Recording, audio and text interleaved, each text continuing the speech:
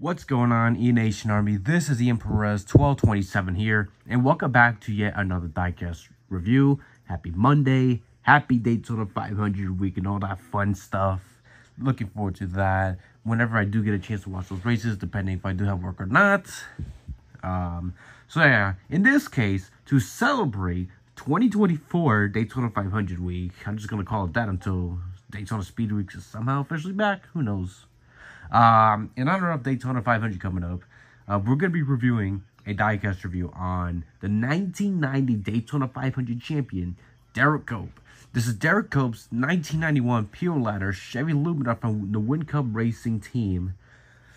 And I gotta say, this livery is very unique. I, I'll, I'll go over it later because it's a unique livery. Basic, simple, but unique. So let's go to the car. So here we got the number 10 and we got the uh, the sticker contingencies sponsors. Uh, you got Goodyear, Simpson, Goodies, NASCAR race car. You got Derrike Cope's uh, name on the name rail. Also, if I do sound different, I am sick. So yeah, uh, that's why I sound different just in case. If you're wondering why I sound different.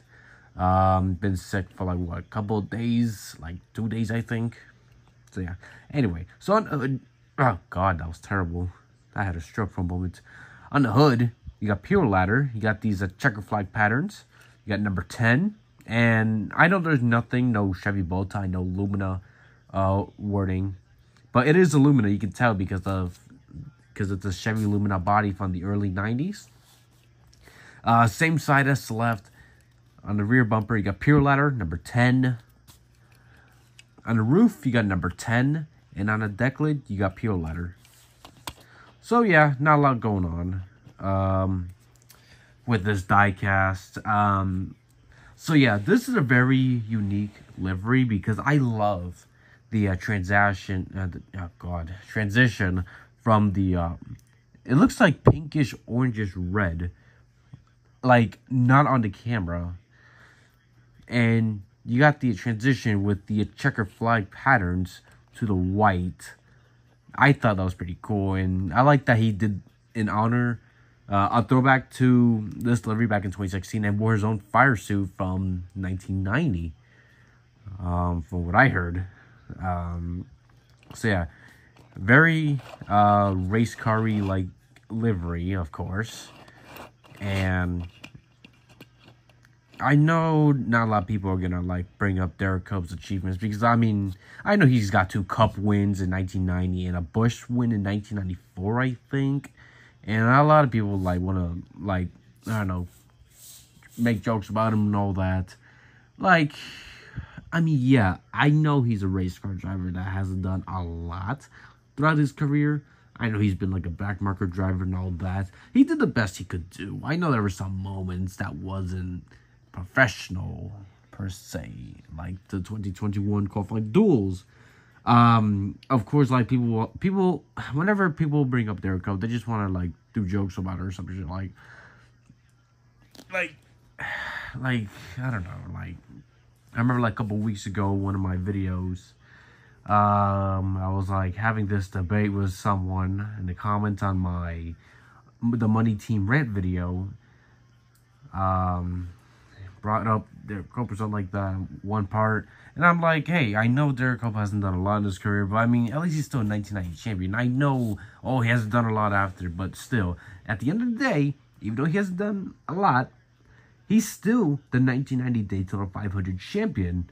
So what if it was Dale? So, so what if it was only because Dale Earnhardt um, ran over some debris and blew a tire in turn three and four? Guess what? Derrike Cope was at the right place at the right time. So what if you got lucky? The point of racing is you're supposed to be there at the end and finish P1. Whether it's whether you win races by what? Like domination, last lap, or by luck. Guess what? At the end of the day, Derrike Cope still got the trophy. he still got the prize money. He's the Daytona 590. Um, he's the, sorry, I am English and terribly. He's still the 1990 Daytona 500, whether you like it or not. That's the reality, folks. That's how it is. I'm so tired of life. Some people give him crap about it. So, yeah. you can like be Daytona 500 champion and still underachieve. As long as you're still Daytona 500 champion, that's what should matter. There should be more respect on Daytona 500 champions. No matter how you win it, no matter how many times you win it, no matter how you do in NASCAR, you're still Daytona 500 champion no matter what.